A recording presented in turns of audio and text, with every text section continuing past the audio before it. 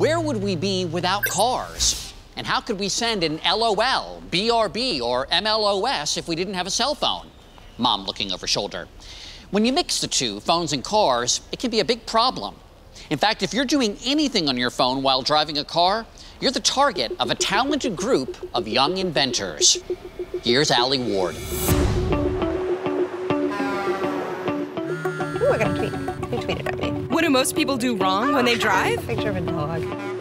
Hair. Lenny, do you keep your hands on the wheel? The Evarts family of New Hampshire thinks about that question over their unconventional dining room table.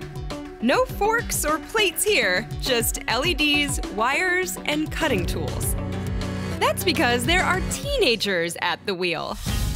This is TJ, and Jaden, and Brighton, and they are the Inventioneers. They're like the Partridge family of innovation. Homeschooled, the Evarts teens have many interests. They love sports, can play music, and all of them showed an early interest in science. I had to visit this trio's home base for myself. Welcome to the uh, the workshop. This is where a lot of the magic happens here at Inventioneers. I need to take this in for a minute. Now, this is your dining room. Yes, this is my dining room. 19 year old TJ Evarts is the CEO of the Inventioneers, and along with his sisters and parents, he invented the Smart Wheel, a device designed to reduce distracted driving and save lives. So this is our very first prototype we made. Obviously, it's come a long way since then. SMART is actually an acronym. SMART stands for Safe Motorist Alert for restricting. It was originally texting, but now it's tweeting, typing, touchscreens, takeout, and touch up. Takeout being when I'm eating a burrito. When you're eating your burrito, that's exactly right. Here in Hampshire, you have to have like 40 hours. We visited TJ's office space where he meets clients to get a quick lesson on the wheel and the technology behind it.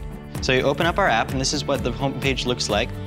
The smart wheel will light up and sound a beep if you use unsafe driving postures. Digging in my purse, there it goes. There it goes. And simultaneously, a mobile app will record your driving behaviors. I'm so ready for this. Oh yeah, you ready? This is gonna be really exciting. It's time for me to give it a try. Define exciting. Well, I'll let you see for yourself. I'm gonna apologize in advance for all of the errors that I don't mean to make. Okay. Okay, here we go.